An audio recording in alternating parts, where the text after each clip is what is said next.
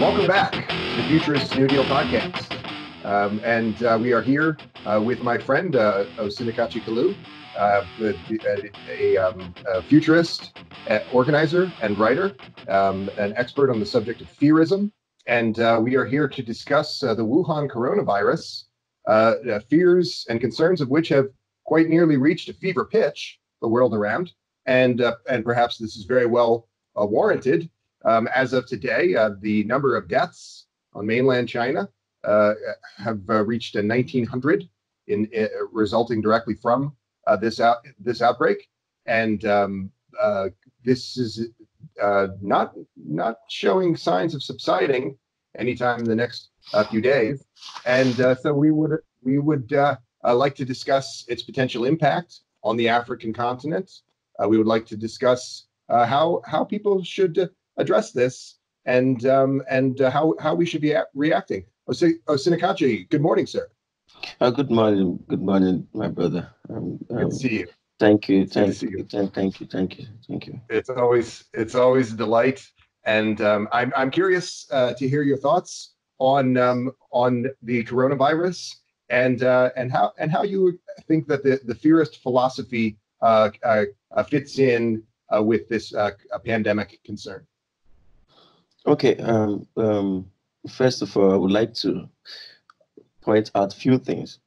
It's not about the emergence of a virus. A virus shouldn't be restricted or um, Hawaii or wherever coronavirus or all that. So when, um, or let's say UN and all that, um, so when a virus emerges like this, it becomes um, a human problem because it's targeted on what life. So there's nothing to say. This is this virus is a Chinese virus, or it is uh, an Indian virus, or that because when it begins to when it begins to spread, it affects the totality of what humanity is doing. It goes, it goes across all the sectors, economic, and um, other um, government sectors and all that. There's a kind of restriction and the human person trying to be careful, thereby creating a kind of fear-based society. So the most important thing is to look at how these viruses tend to condition the, the psychic of the human person. So there's a kind of a behavioral pattern that we come into place you see, everyone trying to be careful, avoid avoidance theory, avoidance principles, and all that, because no one wants to lose the life. So you see, but then, uh, how are we to? The problem now is how are we going to control this uh, um, the, this spread of fear? You know, I think it is also important that we realize the place, the role of fear in this whole thing. For instance, when the media spread it as such, it uh, motivates medical experts, mm. experts, to go into serious investigation on trying to see a way of solving this problem that have be that have uh, befallen man. So it is no longer a Chinese problem, like I said, it's now a universal problem because of how the world is connected. So mm. that you can't say that it will remain there. Not even the restriction, not even the restriction will stop that because we've seen that it's somewhat of airborne. So when you look at when, when you look at the interpretation of what or how it is, because it is just like it is in the same category with the um, Lassa fever. So mm. when you talk about, they are in the same category. So now, the, the most important thing is to face. We've, we've gotten, we've known the danger of contracting the disease, but the idea of um, you know, to create a kind of a fear culture, increasing the fear matrix, it's a people. The, the tension is more like my friend Dr. Sarita Sharma, the editor in chief of TFDS magazine. She was invited to Nepal for a talk. It was last month, but she declined because of what? The coronavirus. Mm. I told her she should go. Nothing will happen to her. She said, no. And the husband said, no, she shouldn't. Now you look at it, the restriction. And it's affecting everything that humanity is doing. Okay, look at the the highest um uh, mobile con- um, conference. The one the, the, the one that's um that was just cancelled in Barcelona, Spain. And because of what the fear of coronavirus. Same thing. Most of our um, keynote speakers for the TFDS conference this year declined because of what the coronavirus.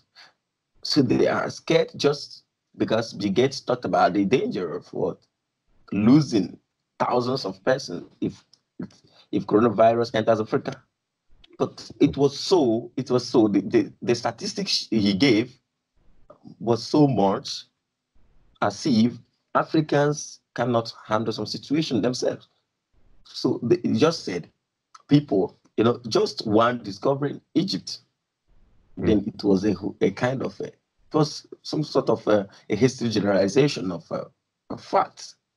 So you don't make it just as at the beginning in, during our chat, you were just like saying, um, "Is there any experience in your side? Is there any experience uh, in other part of Africa?" I said, "No, we've not experienced it." So we we we have other things that we're battling with, but not coronavirus. So now, when you look at the way they are just mag- uh, magnifying the whole thing, you see they're blowing it out of proportion, especially the media. So most media are using it to create fear and a kind of using this uh, this as a sales tool. So when you just start something, the coronavirus and all that, you, you make sales, and you see people using it, creating fear culture. They don't even understand how they are um, um, depressing people and how they are trying to condition that, people don't care about the psychic conditioning, the, the patterns of people in the world. This is very important. It's very necessary that we put this into consideration. Why is the coronavirus bad? But the way we carry it out in the media is very important. We should be sure of what we say and how we say it. We should mm-hmm. make sure that we, we follow the correct statistics of what is happening and mm-hmm. give you good mm-hmm. accounts. So not just saying that five, uh, 50,000 people will die if it's coming to Africa and all that. We know. So just people need to be careful People need to follow the scientific instruction that is given because they are the ones to tell us how it is moving. So health practitioners should also come in and help. Mm-hmm. So advising us, giving us updates, and not blowing out of proportion. Mm. So and, and and you mentioned that um, that there is only one country on the African continent that uh, has had any outbreak or any incidents at all of the Wuhan uh, coronavirus, which is also uh, been uh, renamed by the World Health Organization COVID 19, also known by this designation. And that is in Egypt. There's one one person um, on on all of the uh, African continent uh, uh, known to be, and that was reported uh, toward the end of last week by the Al Jazeera network and and others. And um, um, you know, it, it's interesting. It's interesting to me. you mentioned the impact of of these this pandemic of fear, and it is described uh, the World Health Organization has said that um, uh, there is an, an infodemic in the form of misinformation about uh, COVID 19, about Wuhan. And uh, it said, it said uh, uh, representatives from the WHO have said that false information about these set of incidents is spreading faster than the virus itself. And in many cases, it's not merely making people uncomfortable in the ways that you described, but it's also fomenting Uh, thinly veiled racist tropes. Uh, people uh, making all sorts of judgments about the food uh, that Chinese people be eating uh, being the source of something like this. for example, you most people are probably familiar with internet memes and discussions that describe the consumption of bats, these mammals, or other other unusual eating habits as being the source of this sort of thing. This is this is not based in fact. Uh, these are um, uh, uh, these are strange manifestations of the very fears that that you have so so eloquently described. Um, I want to I want to ask you Um, so uh, um, in in recent days, uh, the death toll, the official death toll, is pushed up uh, to nearly 2,000 in this uh, set of COVID-19 incidents of recent weeks. In in from 2014 to 2016, um, in in West Africa, there was a, a, horrific Ebola outbreak, um, leading to officially 12,000 deaths in West Africa, attending to be in Guinea, Liberia, Sierra Leone. Uh, but here in North America, uh, where there were uh, where there was an almost negligible loss of life as a result of this, there was a tremendous amount of fear. Uh, do you see any parallels between the mechanics of fear mongering over the Ebola outbreak in the rest of the world and uh, para- and uh, the outbreak of the Wuhan coronavirus? Um, uh, w- uh, what else? What else can we do to assure people uh, that that they're going to be okay? Well, when anything is targeted to life. Like I want to make a point now. Mm-hmm. You know, if people tend not to understand that the force spread of uh, a virus kills more than what the virus itself. Mm-hmm. So when you give false information about the virus, for instance, you see someone, anyone who contracts HIV, for instance, dies before his or her time because of the fear of the death itself. So you see the one dying. If you don't give the person compassion, love, and care, if you if there is how you love someone and give the person encouragement, the person might even stay longer than um, what than uh, expected. So the, the case here is how people blow these things out of proportion. Okay, I have a practical example when this uh, Ebola virus started, I was uh, thinking that 2014, I was mm-hmm. at um, I was at the Mbaise in Imo State. I was at Mbaise, the Imo State. So it affected both religion worship. So they changed. There was this change that the, um, this kiss of peace in the Catholic Church was cut short because of what the the Ebola virus. Why some priests resisted. Some said, "Oh, we should forget." Even the reception of communion, they said, "Okay, people should be what receiving with the, uh, from the palm. So th- th- there's this change of it affected everything, both religious practice and all uh, cultural um, patterns. So now in that uh, Mbaise, now to be precise, um, we we there was this news that a man who contracted Ebola returned from Lagos. So people started fleeing from Mbaise. Mm. People started running out from the town. So just that they said they, because the the the the the brother who is a medical doctor said he should go home and die.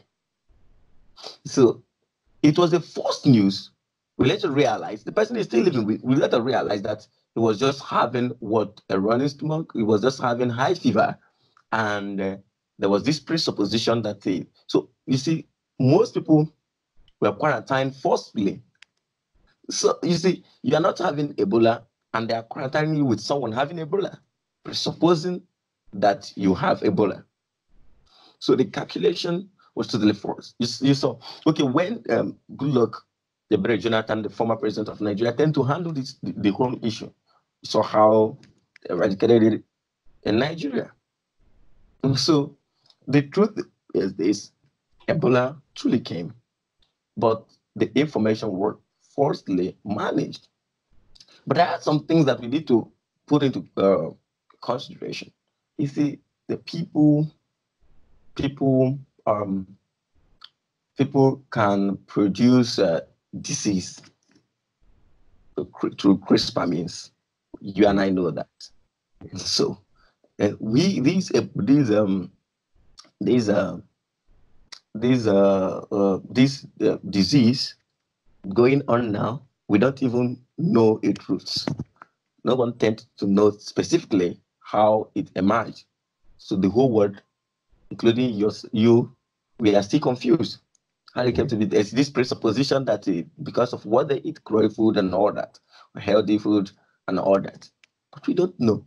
There could be something behind it that the world don't even know. You know, you can buy things and all that and produce disease. And this is a kind of a touristic approach that the world is going. I've said to myself, are we evolving or devolving? so now when you talk about the, the, the, the parallel line between Ebola and um, and um, um, this coronavirus, you see, you, can't place it side by side because um, Ebola started where it was said to have um, the, the, the recent outbreak started in Africa. So, but this one now, this coronavirus, uh, we, we are saying that it started from where China. Now look at the population there population of China and the way they migrate, they're everywhere. They're everywhere. There is this fear because you see them, they are, they are they are doing extremely well. So they're everywhere, technologically and otherwise. So people are scared because they need the world need their service. So the world need their service. We can't claim that uh, they are not important to us. Each human is very important to the other. So we can't throw away the eye and our relationship. So the most important thing is this that the world should control, we should really pay attention to scientific instructions and uh, leave some sort of analysis that is not coherent. That people you are not you don't you don't have scientific data concerning this, and you are blowing it out of proportion. Look at it now. For instance, if you see, if you just announce that there is a possibility. They said there's no categorical statement that coronavirus could enter Nigeria, for instance. You see, the, the, the people, it will affect so many institutions and most businesses will shut down. So that is what is happening now. A whole lot of things, um, international, international airports, and all that, they have been affected as a result of this issue. So we just need to pay attention and uh, be careful of the information that we receive. Mm. Okay. Well, for instance, uh, two weeks ago, there was this uh, media outlet that carried um, out false news saying that some Chinese, some group of persons in China, that they they uh, they filed a case um, for those um, um, for those who have contracted the twenty thousand persons that have contracted this uh, uh, this coronavirus to be killed. So it was false. So there was this pressure so people were like investigating the source, and this media outlet been um, um, categorized and known for carrying out uh, false news. So such media should be clamped down. So we should know what and how we say things, because the human, the human brain is structured in such a way that it receives what false news more than good ones. False news spreads quickly mm, mm. because yes. of fear. So yes, and, and, also this uh, this uh, uh, this fake news and uh, and this fear mongering and misinformation around this virus. It's it's been noted by the World Health Organization and other bodies of this kind uh, that this uh, that this misinformation will not only affect people psychologically, but also affect the efficacy of treatments uh, if people are uh, reacting uh, incorrectly uh, to a situation, uh, that makes it harder to address that situation, and that is that is unfortunate. that is reason enough, in my mind, to avoid too much of this fear-based thinking around outbreaks of this kind. Now, you mentioned um, you mentioned the Chinese diaspora in the, the context of how this uh, how this epidemic is different uh, from other, other, epidemics. I think that's an astute, astute observation. Um, the uh, it's it's estimated that there are between 50,000 and 100,000 uh, Chinese uh, uh, Chinese Nigerians. Um, uh, do you think that this outbreak has affected Sino-Nigerian relations at all? do you think that um, there's any reason for concern about things of this kind? You know, they, they just went for their they traveled for their um, for a feast their own celebration, what as we, we, we Christians do our own Christmas. They just traveled for theirs. So there's these um there is these uh, share of voice recording and all that that people shouldn't allow Chinese to come into Nigeria because most of them they've contracted this disease and they're sharing it on, through WhatsApp and all that. People are mm-hmm. saying some someone just recorded say is recording from China that uh, a lot of them they've contracted this disease and all that. So when you look at it this way, you say, why, why, are we doing this? So there, there, there's this relationship, Chinese Nigeria relationship, but but then you don't blow it because where if this sickness now, this coronavirus now, as that is announced to have been seen, um, reported, that, uh, announced that there is a case in Egypt, and uh, I traveled to United States, and you say you're coming from um, Africa. You've contracted coronavirus, and you see this avoidance way of speaking that you, you when you want to greet your friend that you know, instead avoiding you. So that's just that. So you, you people should um, know how to spread information. So when you talk about the fear mongering, I will just smile because we are living in a world that a little thing, they use it as a sales tool. They use it to create tension. They use it to increase the fear matrix. So the fear matrix you talk about, how people were fearful of this coronavirus, it's increasing exponentially every day. So mm. it's increasing the statistics. When you look at the, the fear state of people, you see how it grows. When you look at it on charts, you see how the fear matrix is increasing. So it's all about when you spread this information, they say, oh, no Chinese. You see most of them, they're not allowed. State. There's this pressure on the government. Please don't allow them to come in. Please don't allow them to come in. Please don't allow them to come in. So it's a kind of um, understanding. They can easily do what? Say, okay, you show us your health, what? show us your health uh, uh, status. But I was opportune to um, quickly look, um, check out few things online. I saw this one, someone shared a Chinese man coming out and um, spitting on a, a, on a wall and rubbing it.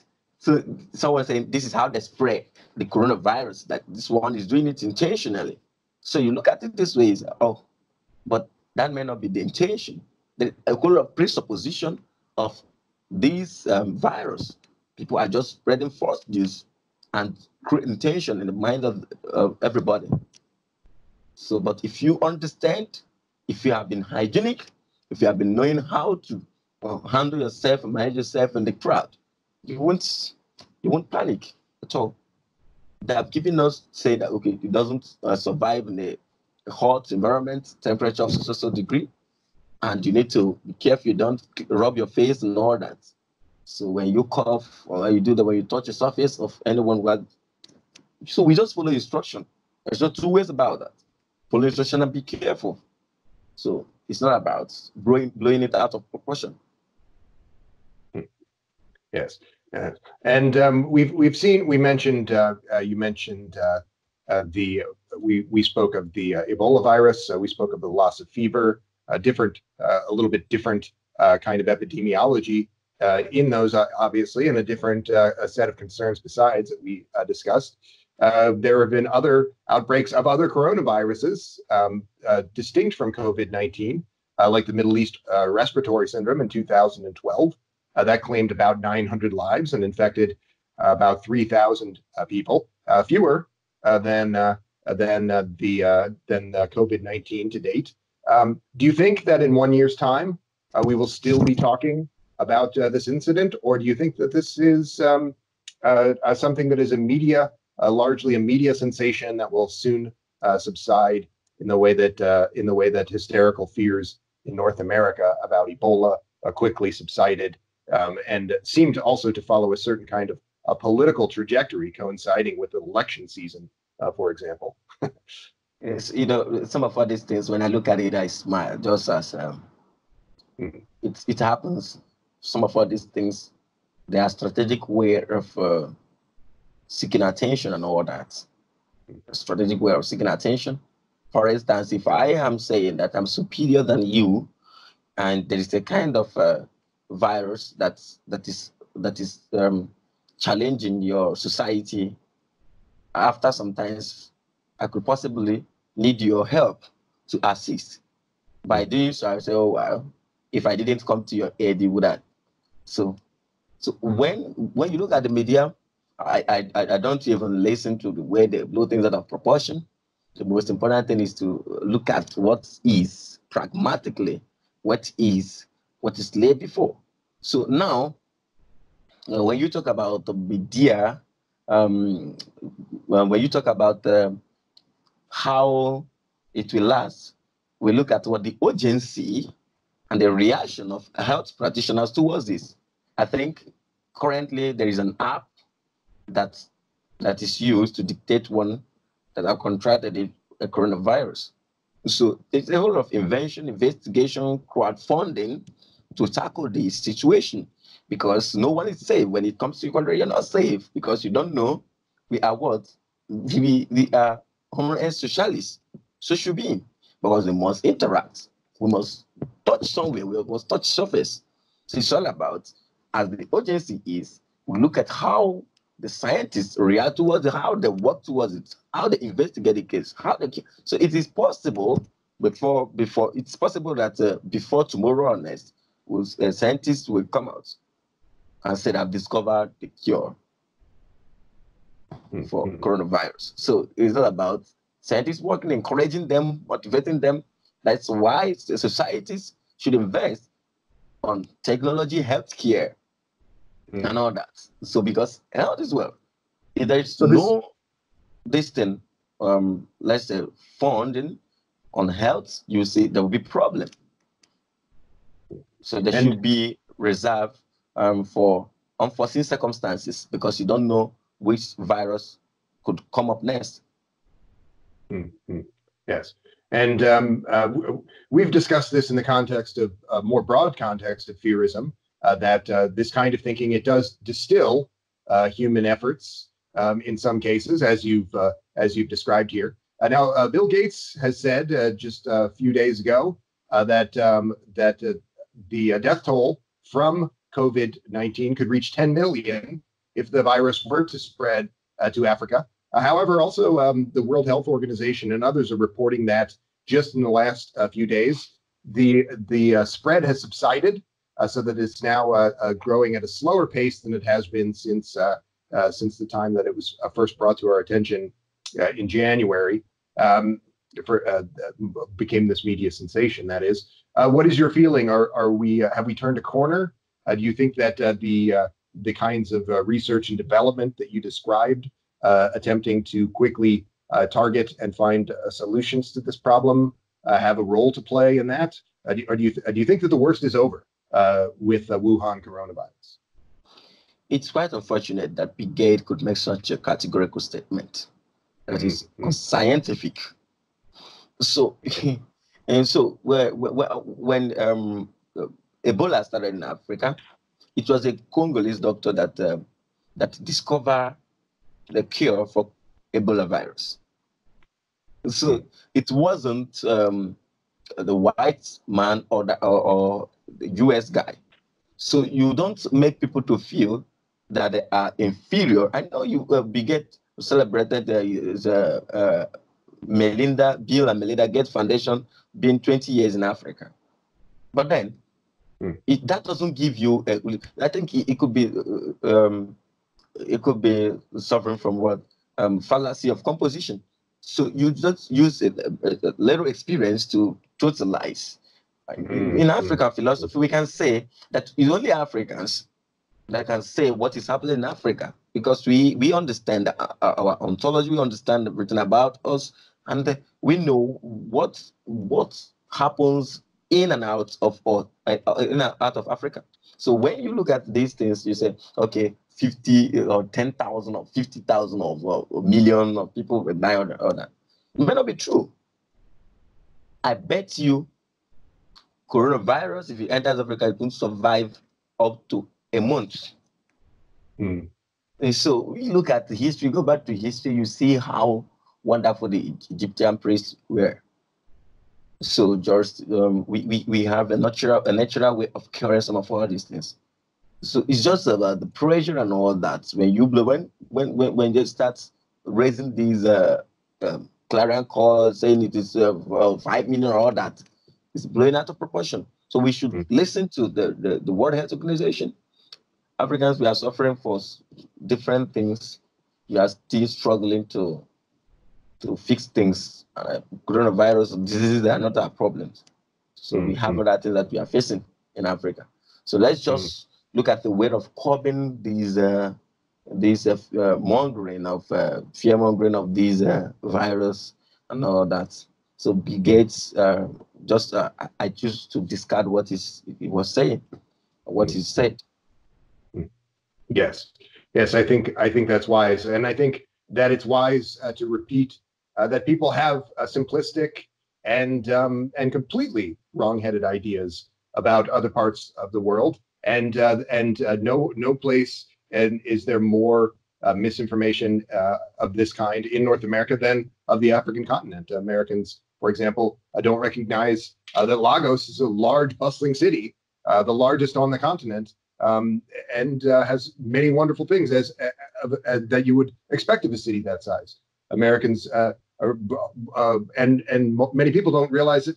Just in the last 15 years, uh, Nigeria's GDP has has has grown fivefold, and um, commensurate developments um, and and and and business incubation to go along with that. And these are so people people that have these simplistic and and ill-informed narratives in their minds, as you as you alluded to. And I think uh, we owe it to ourselves in talking even of things like this uh, to attempt uh, to to combat that. Um, uh, with it of uh, in, in, bringing our bringing our talk uh, to to to an end. what what role do you think that fearism and um, can can play in managing problems of this kind? And um, and are there any other benefits or roles that fear itself has to play in, in complex dynamics like this, in your view? Sure. Um, you know, in fearism, we say that fear is not a, a negative emotion. We see fear as both a positive and negative emotion. Mm. So it's just like that. And we talked about it as the, the receiver, that is the subject, the, the, the subject person. So, so we have object of fears, um, which we characterize as also fear factors. So now, how we receive this, and if we receive um, this uh, coronavirus positively by not, what I mean by positively is by not um, fleeing from or being so fearful of it, but by receiving it and working towards it and facing the, the coronavirus squarely, uh, by going into researches, investigating, and uh, working towards eradicating it uh, quickly, it will be a very good way of doing what utilizing our fears. Now, but if the media use use it as a um, as a sales tool, it becomes what a problem. Kind of uh, mongering or trying to blow it out of proportion because it, when, when they blow it out of proportion, how people receive even treatment becomes what difficult. Why? No one first will allow him or herself to be quarantined. So now no one would like him or herself to be tagged what? A patient of what? Coronavirus. So these are the things that people need to understand. If there is an investigation, when you carry them out, you you manage them intelligently. You manage them intelligently because there are some persons that uh, there are some persons that don't know how to receive information and handle pressure. Now, the way you re receive information is totally different from the way I receive this because of our the, the different thought patterns that we have and our worldview. So our exposure is different too.